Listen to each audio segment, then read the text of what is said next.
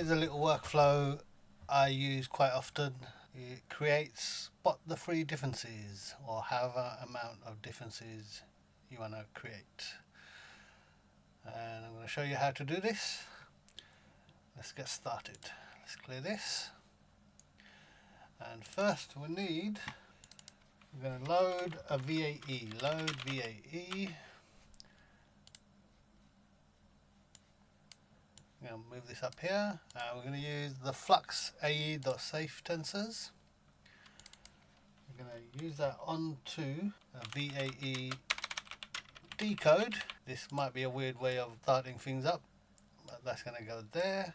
And we're going to preview the image here. And next is unet load gguf. I'm going to use this. And we're going to choose Pixelwave, uh, Pixelwave Flux One Dev Q8. Going to use that. And next is Dual Clip Loader. I'm going to use a Dual Clip Loader GGUF because it's a GGUF file, but it makes no difference if we use the normal uh, Dual Clip Loader. And that one's going to be the T5XXL FP8E4M3FN Safe Tensors. And this one I'm going to use clip L safe tensors and change this to flux. I'm going to use one of my own nodes, gr image size, move that there, and a new node I created called gr prompty, and I'm going to put that here. I'm going to reduce the size of this because it's a bit big. We're going to change this, convert the seed to an input I'm going to join the clip from this to this and the seed from this to this. Uh, leave that at random. I'm going to get a K sampler. I'm going to move that here. I'm going to connect the model to there, positive to positive, negative to negative. Latent image I'm going to get from GR image size.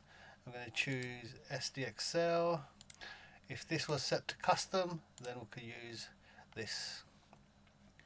I'm going to change the seed to an input and we're going to connect the seed from this to this. We're going to connect the latent to this and we're going to put some inputs in the prompts say uh, dog, cat, mouse, elephant, lion, tiger, giraffe, uh, monkey.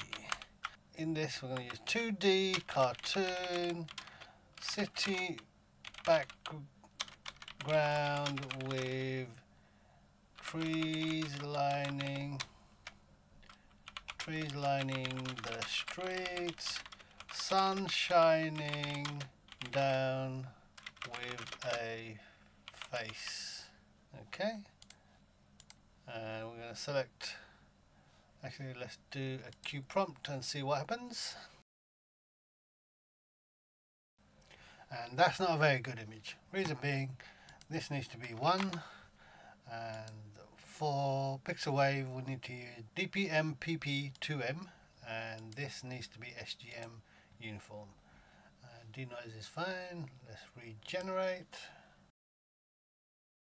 Since we got randomized deselected, I'm going to undo the multi-prompt, uh, disable this, bypass, bypass, and add show text by pysssss.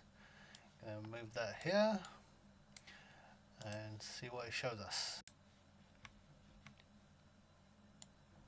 So dog 2D cartoon because we've got prompt 1 selected.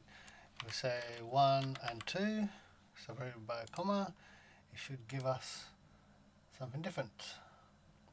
gives us dog or cat. It gives us cat. Or if we add uh, free, sorry, free, this should give us a random one of these three. Cat, mouse, cat.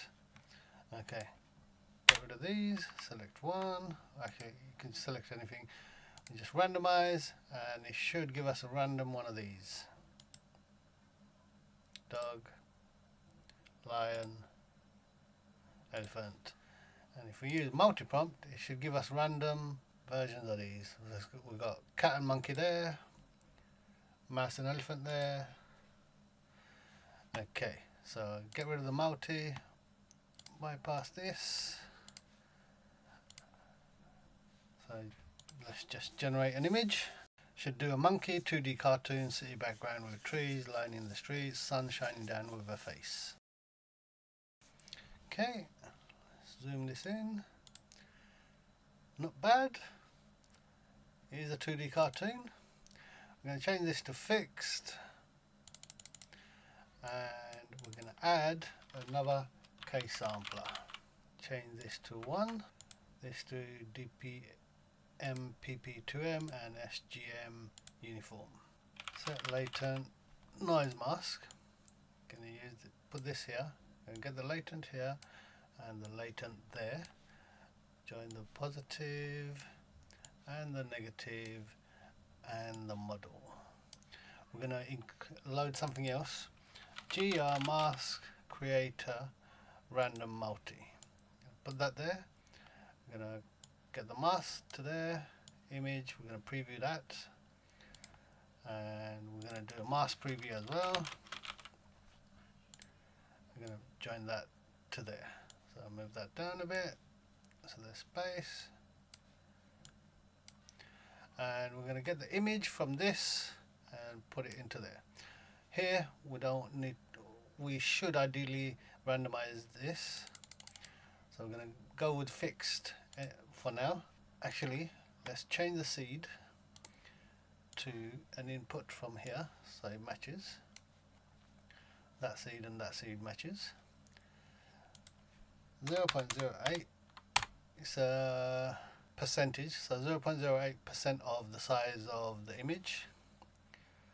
We're going to use free masks, exclude borders, yes. So we don't want to generate image uh, a mask around the border or along the border. From the border, how, how many values away from the height? Keep that at 15, border width 15, minimum distance. So it's going to gen generate free masks what is the minimum distance between each mask because if you have that at zero you overlap so it can overlap so keep that at 10 ring color uh, say red this is basically showing you where the mask is on the final image ring type solid yep that's fine distance from boundary is how far away from the mask do you want the ring to be? Ring thickness 5 is fine. Circular is fine.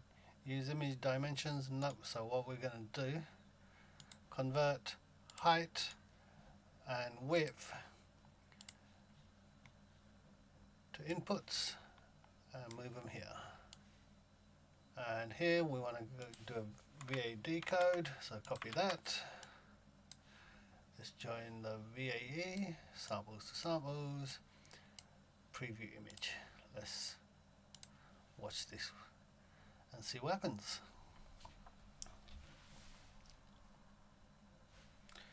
Oh, we need to change that to, let's cancel this.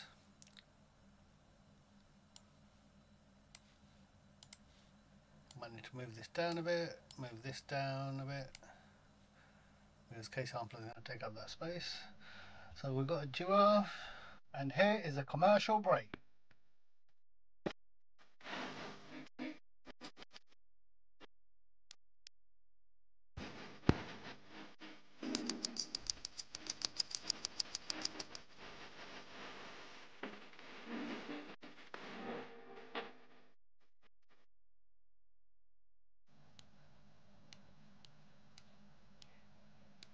Okay, so these are the three masks it created and this is the spot on the actual image.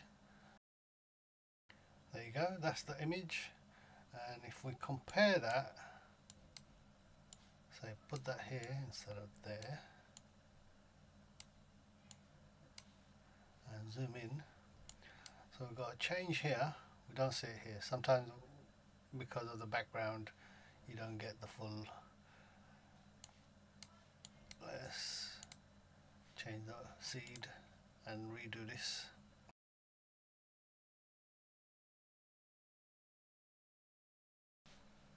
Okay let's compare this. So difference here is you can see it there. Difference there as you can see it's different to the other picture. Here because we're in open space you can't see the difference. If you get to fill this up it'd be better. So what we're going to do now is gr stack image. I'm going to do it with a border of say 20 white background and horizontal stack is true. So let's get our first image and our second image and preview image that one. So joins up both images together. You could do horizontal and it does it this way. Now I'm going to get an empty image and I already know the dimensions I need. You might have to figure out which what you need. 2060 for the width 1250 for the height batch size 1 color can leave that as it is. And we're going to get image paste by Mikey. And we're going to have the empty image as the background. And this image as the foreground. We, we don't have to touch this preview image. And there we go. We've got a, empty space at the bottom what I'm going to do is gr text overlay and put that in between there. So that goes there that goes there. I'm going to type in uh, find three differences. Okay you can choose the font whatever system font you have. You'll use them. It'll show up and it's put it there. So what we want to do increase the size to say 115 gonna vertical alignment at the bottom center and keep that as center. Padding not bothered about that. Uh, white writing want a background to it. And say background size of 20 and background stroke size of say 10 and we want that to be white and make the background color gray for example. Background opacity to zero and rounded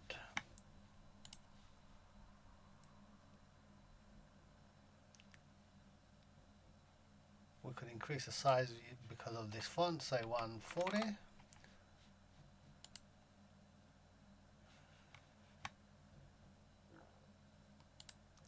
if we change that to blue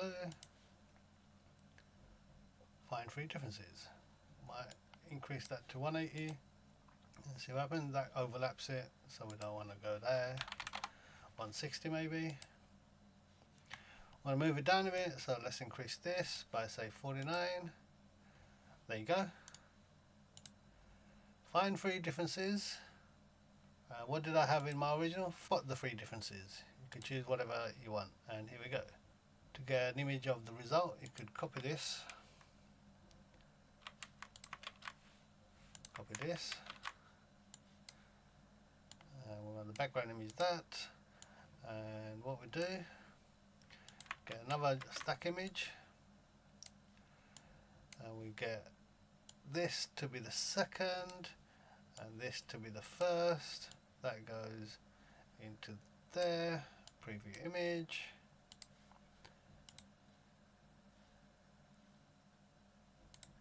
images must have the same batch size ah we need that one there Sorry.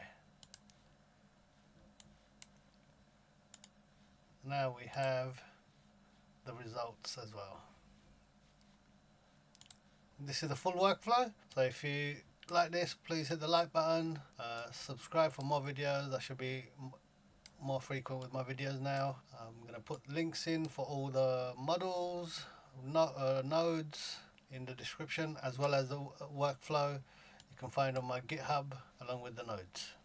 Thanks for watching, see you next time.